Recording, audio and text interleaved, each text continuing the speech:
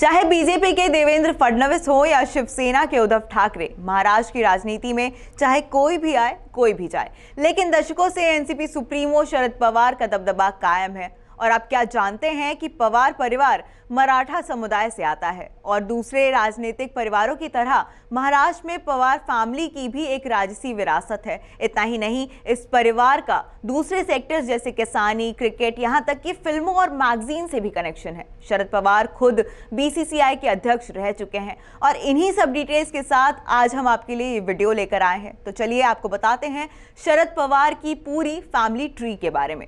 इस family tree के ज़रिए शरद पवार के परिवार के बारे में समझा जा सकता है।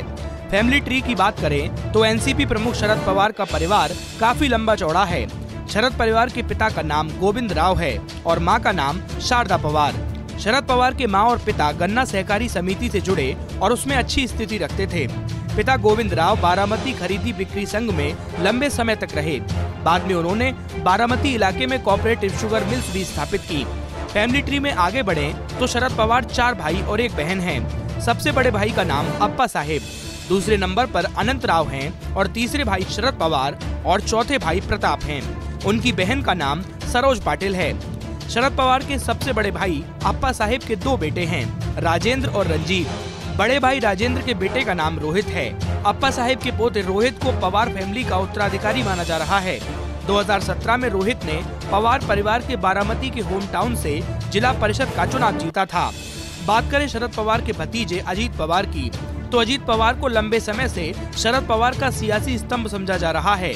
वो उनके बड़े भाई अनंतराव पवार के दूसरे नंबर के बेटे हैं। अजीत के बड़े भाई श्रीनिवास हैं, जिनका ऑटोमोबाइल और अन्य चीज़ों का बड़ा बिज़नेस है। दोनों भाइयों में लगातार संवाद होता है।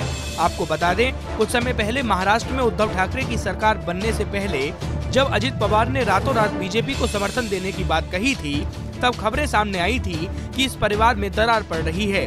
अब फिर वैसे ही खबरें सामने आ रही हैं। हालाँकि तब अजीत पवार ने रातों रात पाला बदल लिया था, वो फिर बीजेपी के कैंप से चाचा शरद पवार के पास लौट गए थे। इसके बाद उद्धव ठाकरे की सरकार बनाने के दौरान शरद पवार ने मुख्य भूमिका अदा की थी।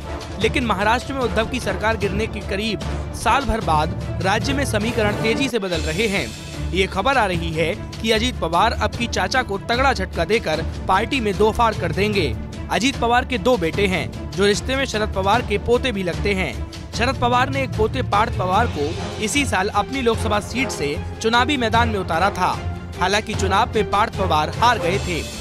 इसी के साथ दादा शरद पवार की सीट गवाकर पार्थ पवार परिवार से चुनाव हारने वाले पहले सदस्य बने शरद पवार के बाद उनकी बेटी सुप्रिया सुले और भाई अनंतराव के बेटे अजीत पवार दो दशक से राजनीति में सक्रिय हैं। शरद पवार की बेटी और दामाद की बात करें तो बेटी सुप्रिया सुले सांसद हैं, तो उनके पति सदानंद बड़े बिजनेसमैन हैं। सुप्रिया सुले राष्ट्रवादी कांग्रेस पार्टी की नेता हैं, वर्तमान में सत्रहवीं लोकसभा में सांसद हैं।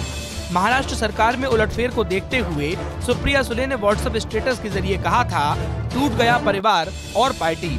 बता दें कि तमाम अटकलों के बीच महाराष्ट्र में अजीत पवार ने बीजेपी के साथ मिलकर सरकार बना ली है। उनके सबसे छोटे भाई प्रताप गोविंद राव पवार महाराष्ट्र के सबसे बड़े समाचार पत्र समूह साकाल के मालिक हैं। उन्हें पद्मश्री भी मिल चुका है। पवार परिवार के लिए कहा जाता है कि अभी तक कुंबे के लोग मिलजुल कर रहते आए हैं। सभी एक दूसरे के हितों की परवाह भी करते हैं। लेकिन अब लग रहा है कि महाराष्ट्र का ये ताकतवर पारिवारिक कुंबा टूटने की ओर बढ़ रहा है।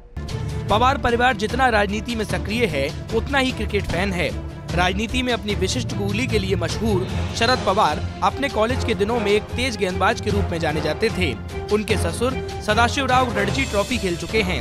शरद पवार खुद तो क्रिकेट में करियर नहीं बना सके, लेकिन बीसीसीआई के अध्यक्ष रह चुके हैं। शरद पवार 2005 से 2008 तक देश में क्रिकेट की सबसे बड़ी प्रशासनिक संस्था बीसीसीआई के चीफ रहे। इसके अलावा 2010 से 2012 तक वह इंटरनेशनल क्रिकेट काउंसिल के भी अध्यक्ष रहे। शरद पवार के भतीजे अजीत पवार अपने कॉलेज के दिनों में एक बहुत अच्छे स्पिनर के रूप में भी नज़र आए थे। अजीत के बेटे पार्थ को भी एक अच्छे क्रिकेटर के तौर पर आईपीएल के दूसरे सीज़न का दावेदार माना जा रहा था।